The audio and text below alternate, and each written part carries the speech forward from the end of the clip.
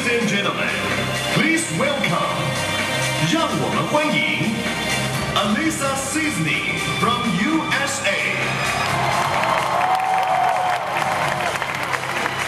Johnny Weir from USA. Irina Slutskaya